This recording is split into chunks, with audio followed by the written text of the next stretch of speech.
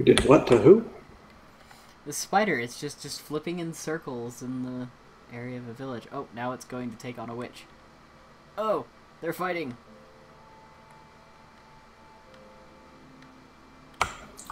Turning on OBS? I thought you were already recording.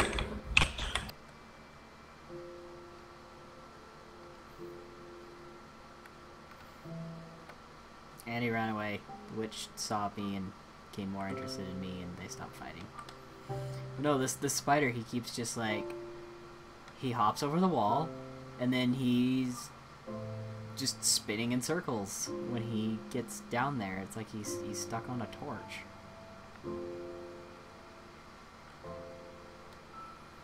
He's doing a spider dance.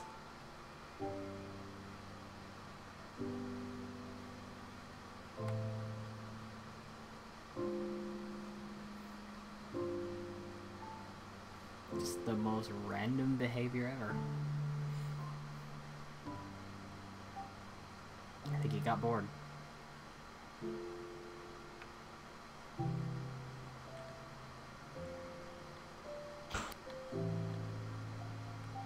Most random behavior ever, you say?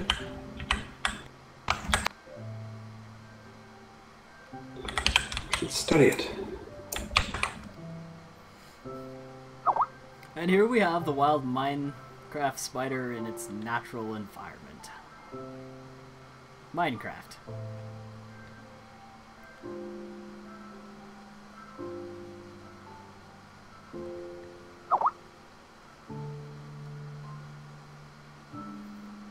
I I think it's actually seeking me out, even though I am like 300 blocks away from it.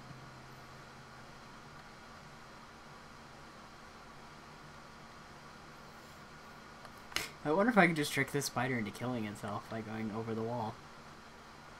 Yep, now he's going back. Back and forth over the wall. He, he's, he's not interested in the villagers. He he would have turned to, you know, go after them by now. I'm pretty sure.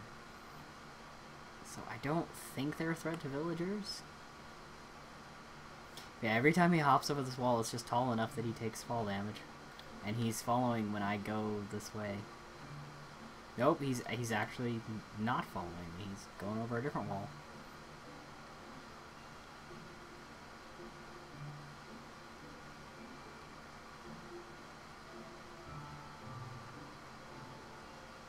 Well, okay then. I have absolutely no idea what's going on in this little cubic arachnid's mind.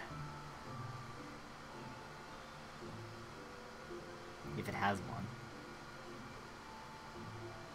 If indeed it has one.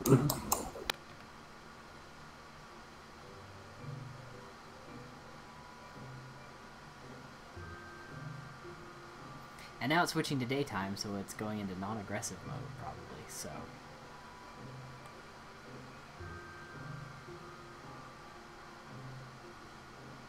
This is been Minecraft with spiders.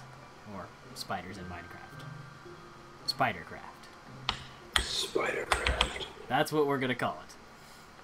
Tune in next week for another exciting episode of Spidercraft.